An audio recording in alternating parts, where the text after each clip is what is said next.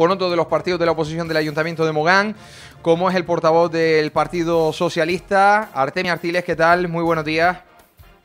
Buenos días, Alejandro. Buenos días a todos los oyentes. Bueno, te preguntaba, Artemio, antes de, entrar en, directo de cómo lo llevabas, porque sin duda para, para ustedes, para los miembros del Partido Socialista en Canarias, eh, la situación pues no es nada sencilla, pero al final como hemos dicho a lo largo de toda esta programación especial, el, orden de los acontecimientos caen por su propio peso. Sí, si me dices cómo estoy, pues la verdad es que preocupado, ¿no? Preocupado porque a nadie se le escapa que el incremento de migrantes que hemos tenido y que estamos siendo testigos en Arguineguín, porque es el puerto que llegan en los últimos meses, es preocupante. A nadie se le escapa que es una solución que tiene difíciles problemas, no solo por la tan gran eh, del tan grande incremento de migrantes que han venido llegando, sino también eh, acrecentado por la crisis sanitaria que tenemos. Una vez dicho esto, de que es un problema que, tiene eh, una solución que no es sencilla, una vez dicho esto, lo que, lo que sí es cierto, y ayer lanzábamos un comunicado desde el PSOE de Mogán, es que los acontecimientos que se vivieron en la tarde, tarde, noche de ayer, pues no son, no son aceptables. Nosotros rechazamos la forma en las que se, dejaron o se desahuciaron del, de la carpa que está en el Muelle Arineguín a más de 200, casi 250, decía el concejal de seguridad, migrantes, sin garantizarles los derechos básicos y también sin garantizar cuál iba a ser la reacción de, nuestro pueblo, ¿no? Porque en el comunicado eh, sí es cierto que, que, que me reprochaban o nos reprochaban a los socialistas de Mogán que solo nos preocupáramos por los migrantes, como no puede ser de otra forma, pero que dejáramos de lado a la, a, la ciudad del municipio y nada más lejos de la realidad. Era tan preocupante la situación en la que se, se dejaba a, estas personas que se quedaban en libertad como la, la, la, la problemática que podría ser derivada de que, más de, que más de 250 personas que no saben prácticamente dónde están, que no tienen recursos para sobrevivir, deambularan por nuestro, por nuestro municipio, por nuestro pueblo de Agriquín. Por tanto, el sentir que tenemos los socialistas de Mogán a día de hoy es el de preocupación por ver cuál va a ser la solución definitiva que se va a dar a esta problemática. Fíjate que eh, venimos y, también ha sido testigo ¿no? de, todo lo que ha venido ocurriendo sobre el muelle de Arguineguín desde el pasado mes de agosto. Los acontecimientos se han ido sucediendo y no sé, Artemis, si podíamos imaginar tal cosa de lo que pasaba en el día de, ayer, porque es verdad que se ha venido, ¿no? Se ha visitado por parte de distintos ministerios para, para tratar de buscar la solución pero la solución no llega y encima entendemos que lo que no se puede, lo que no puede pasar es lo ocurrido en el día de ayer. No, para nada, para nada. No puede pasar que en un en un pueblo pesquero como, como Argineguín, que tiene entre, entre 2.000 y 3.000 habitantes, aparte tengamos a 2.800 eh, migrantes en, en, una explanada de poco más de 400 metros cuadrados. Yo creo que es inaceptable. Y aquí los representantes públicos nos debemos a, los votantes, en este caso yo como portavoz del PSOE en Mogán me debo a, los vecinos y vecinas del municipio que me han votado para que los represente en la corporación municipal y aunque haya otras siglas, aunque las siglas políticas que estén gobernando y que tengan las competencias de migración sean las mismas a las que yo pertenezco, eso no me va a quitar ni una ápice de, la responsabilidad para reclamarle y exigirle que esta problemática se, se, se solucione. ¿Qué es lo que he venido haciendo durante estos meses? Ya no desde agosto, ya no desde desde junio, julio, cuando fue más fuerte el, repunte, sino mucho antes, ¿no? Porque antes teníamos la problemática de que las embarcaciones, las pateras que venían, se iban acumulando en el puerto y los marineros principalmente en ese entonces reclamaban que ahí no podían estar, que no se podían acumular tantas pateras. Ese problema se viene, se viene intentando, desde el PSOE de Mogán venimos reivindicando a, las, a las administraciones competentes desde, desde octubre del año pasado, que fue la primera visita que tuvimos con, la, con las cofradías, incluso antes, cuando estaba Elena Mañez de, de delegada del gobierno. Pero la situación ahora es mucho más grave. La situación ahora es mucho más grave porque ya estamos, ya no es el, el flujo que todos los vecinos de Mogán, de Aguineguín en este caso, estábamos acostumbrados a ver de pateras que venían un poco más salteadas, pero que automáticamente se montaba el campamento, se hacía la, atención en primera instancia y se derivaban a, las comisarías y después, pues la verdad es que, que, hasta uno desconoce cuál era el, destino. En los últimos meses ya esto se ha hecho totalmente insostenible y, hace falta que las promesas que se han hecho de una vez por todas, en este caso, se cumplan. Que haya instalaciones en la isla para dar eh, cobijo a, la gran masa de inmigrantes que, que han estado viniendo y que por desgracia, por las noticias que tenemos, las,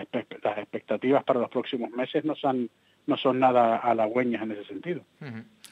Eh, eh, Artemi, hemos escuchado ya esta misma mañana al presidente del gobierno canario, Ángel Víctor Torres, asegurando que, porque ayer, eh, ya por la tarde-noche, se aseguraba que esto podía volver a pasar en el día de hoy, él asegura que no, que no va a volver a pasar tal circunstancia, la que se daba en la jornada de ayer. No sé si has podido hablar con él, con el delegado del gobierno de Canarias, si te han dado alguna explicación al respecto, si se sabe al final cómo ha sido el orden de, de los acontecimientos en cuanto cuanto a la toma de decisiones? Eh, ¿Te has podido comunicar? ¿Te han dicho algo al respecto?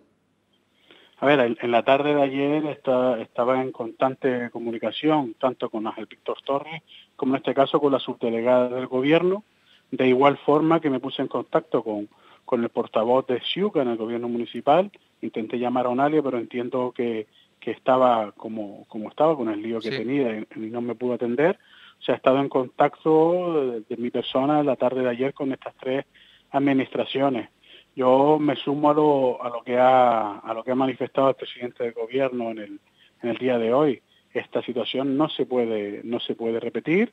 y también me sumo a lo manifestado en el comunicado que hizo el propio ministro ah, en el día de ayer en el que decía que se iba a, a, hacer un seguimiento de cuál ha sido o cuál fue la cadena de mando o la secuencia de mando en base a la cual se llegó a poner en, las puertas del, muelle de Arguineguín a, las 250 personas que, todos tuvimos que ver y que estamos viendo porque somos noticia a nivel nacional por un hecho que, dista mucho de lo deseable para un municipio turístico como, como es, como Mogán.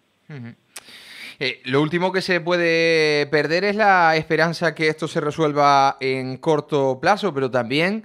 la credibilidad de, algunos ha ido eh, perdiéndose por el, por el camino. Entiendo que esto también te preocupa mucho, eh, Artemi, porque son compañeros también de, partido a otros niveles, pero es que hemos escuchado algunas cosas esta misma semana que son, como las ha calificado también el propio presidente del gobierno de Canarias, eh, que no se pueden dar, ¿no? No se puede conocer una situación y luego decir lo contrario, ¿no?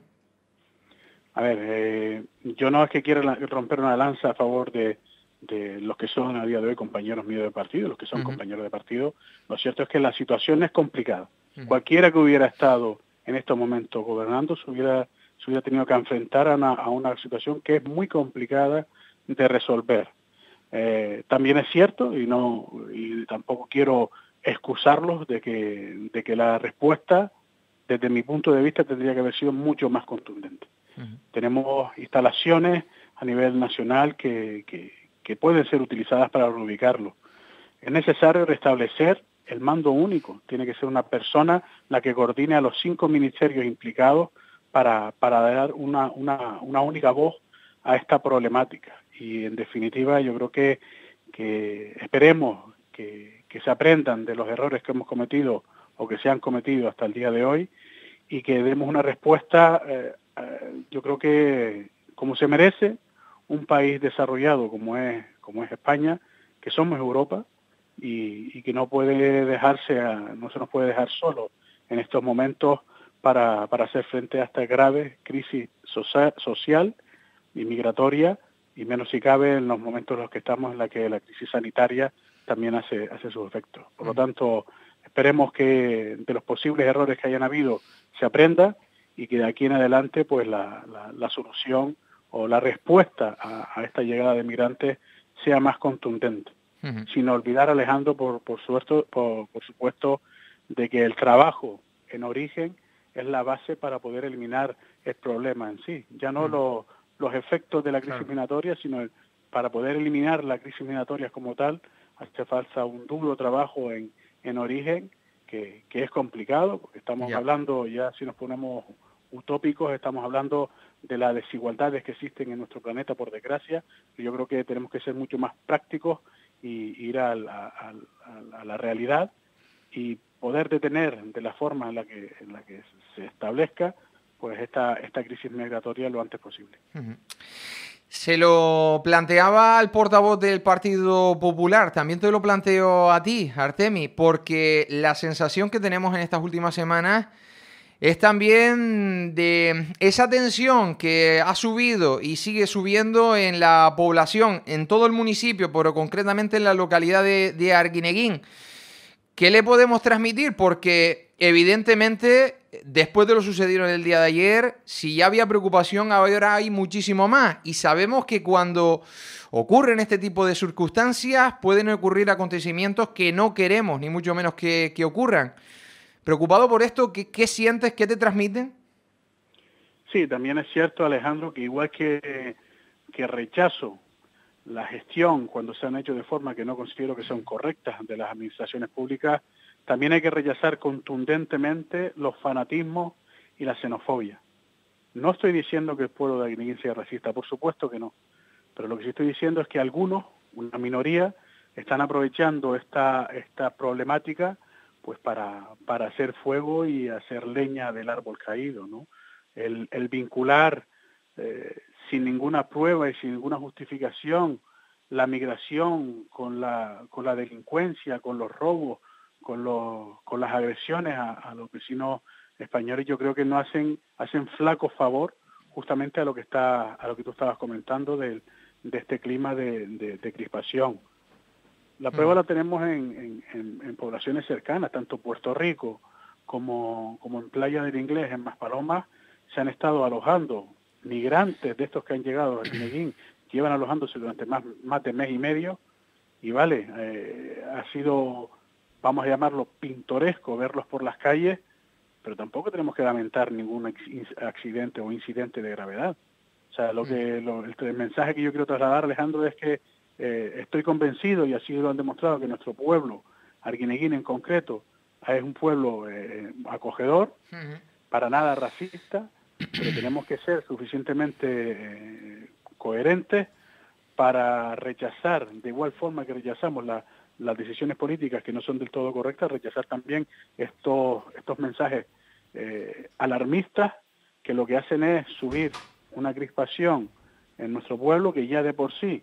por la difícil situación en la que están pasando muchos de nuestros vecinos y vecinas, por esta crisis económica y, sanitaria, pues es como, como me decían ayer, lo que no se puede es apagar un fuego echándole gasolina, ¿no? Hmm. Ser coherente y ser responsable, sí, pero igualmente ser contundente a la hora de, de, alentar o de, o de rechazar, en este caso, los mensajes que lo que buscan es aumentar la crispación.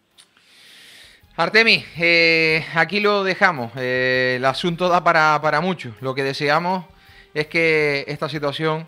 de no fácil solución, lo hemos también destacado aquí durante tantas y tantas semanas porque lo hemos comprobado de primera mano. La crisis generada por la pandemia de la COVID ha hecho que la respuesta pues eh, no se haya podido centrar todos los recursos en esta situación, pero deseamos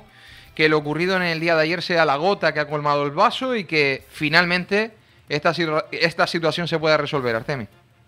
Sí, yo quiero despedirme simplemente, Alejandro, con un eh, llamamiento a, a la paciencia a nuestros vecinos y vecinas, agradecerles el comportamiento que han tenido hasta el día de hoy de igual forma que como no lo, no, no lo había podido hacer por este medio de comunicación, agradecer los trabajos que están haciendo tanto los cuerpos y fuerzas de seguridad como las ONG que están dando la, primera atención a los migrantes que llegan y esperar, como tú bien dices, que todo en, los próximos días, en las próximas semanas, tengamos que recordarlo como simplemente como una mala, como un mal recuerdo estos acontecimientos que se han venido desarrollando.